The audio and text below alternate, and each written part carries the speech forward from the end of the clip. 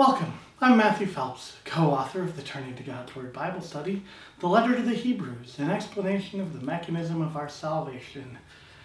Today we'll be talking about lesson 23, which covers the second book of Maccabees, chapter 4, verses 1 through 22. This is the final lesson in our examination of the Old Testament foundations of the priesthood, and also the latest of the historical books of the Old Testament, and so a bridge between the Old Testament and the time of Jesus. Uh, reading from the book of the Maccabees, we'll be building on the divisions we saw in Jewish society following the return under Ezra, this priest scribe, where we saw the emergence not only of a priesthood as a ruling class, but also as an educated legal class. Uh, today's exploration of the second book of Maccabees, we will look at what happens to the priesthood to further discredit them under influences from Greek society, and then we'll talk just a little bit about how some of this contributes after this time and develops a little bit toward the time of Jesus, uh, just to lay some framework there. The previously mentioned Simon, who had informed about the money against his country, slandered Onias, saying that it was he who had incited Heliodorus and had been the real cause of the misfortune. He dared to designate as a plotter against the government the man who was the benefactor of the city, the protector of his fellow countrymen, and a zealot for the laws. When his hatred progressed to such a degree that even murders were committed by one of Simon's appointed agents, Onias recognized that the rivalry was serious and that Apollonius, the son of Menestheus, the governor of Coele and Phoenicia, was intensifying the malice of Simon. So he betook himself to the king, not accusing his fellow citizens, but having in view the welfare, both public and private, of all the people for he saw that without the king's attention, public affairs could not again reach a peaceful settlement, and that Simon would not stop his folly. So, what's going on here? We have a high priest, Onias, who is a good, God fearing man who's following the Lord and encouraging others to do so. And then we have Simon, who is also in a position of authority, who has decided that he doesn't like having somebody in the way who insists on wanting to follow God. And so he's trying to discredit and to oust him. So far to ill effect, but he is certainly applying a great deal of pressure. When Seleucus died and Antiochus, who was called Epiphanes, succeeded to the kingdom, Jason, the brother of Onias, obtained the high priesthood by corruption, promising the king at an interview 360 talents of silver and from another source of revenue 80 talents. In addition to this, he promised to pay 150 more if permission were given to establish by his authority a gymnasium and a body of youth for it, and to enroll the men of Jerusalem as cities, citizens of Antioch. When the king assented and Jason came to office, he at once shifted his countrymen over to the Greek way of life. He set aside the existing royal concessions to the Jews, secured, secured through John, the father of Eupolemus, who went on the mission to establish friendship and alliance with the Romans. And he destroyed the lawful ways of living and introduced new customs contrary to the law. For with alacrity he founded the gymnasium right under the citadel, and he induced the noblest of the young men to wear the Greek hat. There was such an extreme of Hellenization and increase in the adoption of foreign ways because of the surpassing wickedness of Jason, who was ungodly and no high priest, that the priests were no longer intent upon their service at the altar.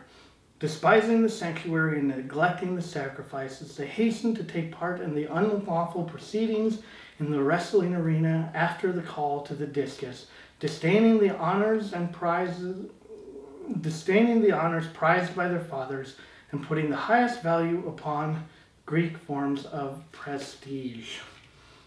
For this reason, heavy disaster overtook them, and those whose ways of living they admired and wished to imitate completely became their enemies and punished them.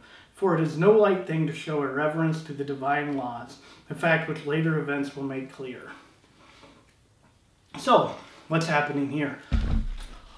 A few things. Um, first and foremost, uh, we have, in an interesting way, uh, the priesthood, the high priesthood is bought from the king. So we can see this is not the king of Jerusalem. This is the king of the region. Uh, we see that by now the Jews no longer had the authority to appoint their own high priests, but that the high priests were being appointed for them. Uh, which leads, of course, to the possibility of corruption. And here the high priesthood is bought uh, via corruption. And quickly following that, somebody who nobody of the faithful Jews would ever want to have be high priest begins abandoning all of the religious practices and the laws of the Jews and instead encouraging the Jews to become Hellenized, to follow the Greek way of life, and to abandon service of God, um, which is a big deal. Uh, the priests who should be looking out for the best interest of the people are abandoning that particular charge and are instead leading the people astray. Um, and we've seen throughout the Old Testament that nothing good happens as a result of that. When the quadrennial games were being held at Tyre and the king was present, the vile Jason sent envoys, chosen as being Antiochian citizens from Jerusalem, to carry 300 silver drachmas for the sacrifice to Hercules. Those who carried the money, however, thought best not to use it for sacrifice because that was inappropriate, but to expend it for another purpose. So this money was intended by the sender for the sacrifice to Hercules, but by the decision of the carriers it was applied to the construction of triremes. When Apollonius, the son of Mnestheus, was sent to Egypt for the coronation of Philometor as king, Antiochus learned that Philometor had become hostile to his government, and he took measures for his own security. Therefore, upon arriving at Joppa, he proceeded to Jerusalem. He was welcomed magnificently by Jason and the city, and ushered in with a blaze of torches and with shouts. Then he marched into Phoenicia. So, not only is this high priest corrupting all of the youth and the priests uh, and the people of Jerusalem. Now he's also designating a large sum of money for sacrifice to Hercules. Who? Not the God of Israel, to Hercules. So, what this passage from Maccabees shows us is it's a glimpse, it's a hint of what has happened here at the time of um, the Maccabees leading up to Roman domination of the area, but not that not yet there.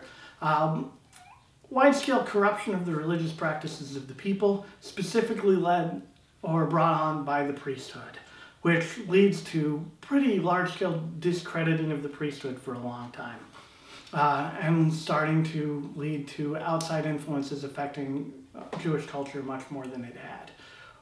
What this passage doesn't say, but is important, uh, is that in reaction to this, some people who still wanted to follow the Jewish law ran away out into the desert and followed very conservatively. The Maccabees led that movement, and some of these people became known as the community that was called Essenes. Uh, and some of them eventually made it back into Jerusalem as some of these corrupting influences were kicked out and gained power based on their conservative idea of following the laws. And it's from that conservative section that the Pharisees arise.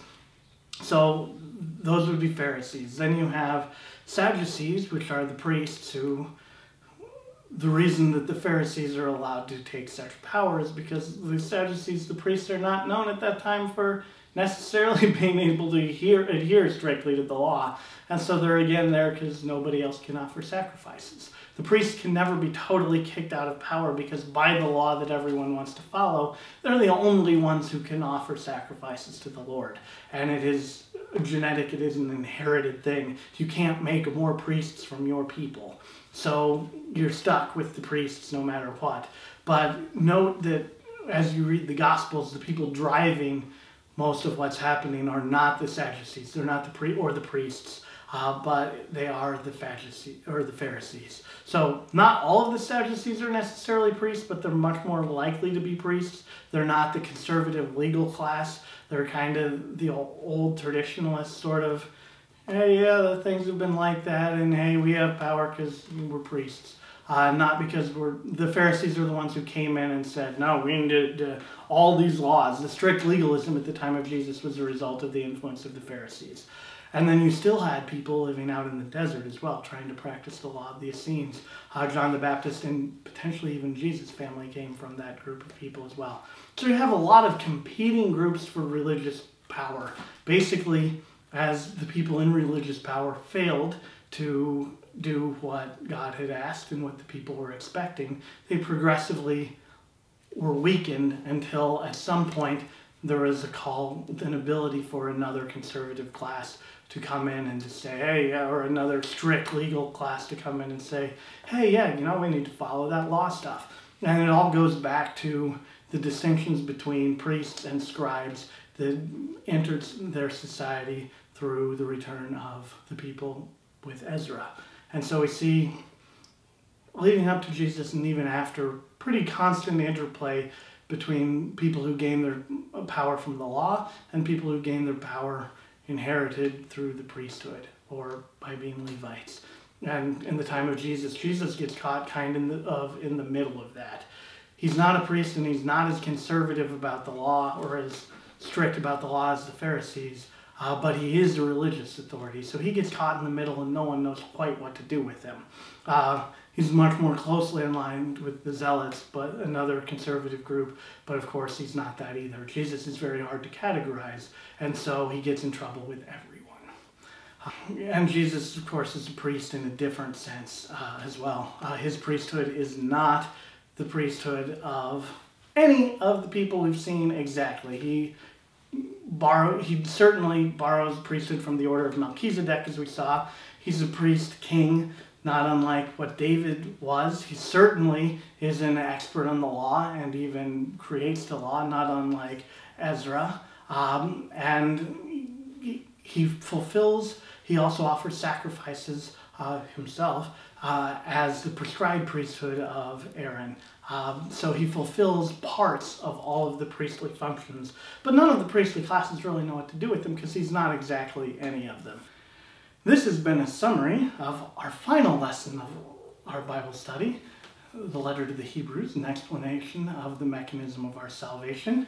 Um, we've examined the entirety of the letter to the Hebrews, as well as laying foundations, Old Testament foundations for the priesthood leading up to Jesus Christ. Uh, for information about our other studies, please do look at turningtogodsword.com. We have a no number of other studies available and a large number of free resources available for personal Bible study on our website as well.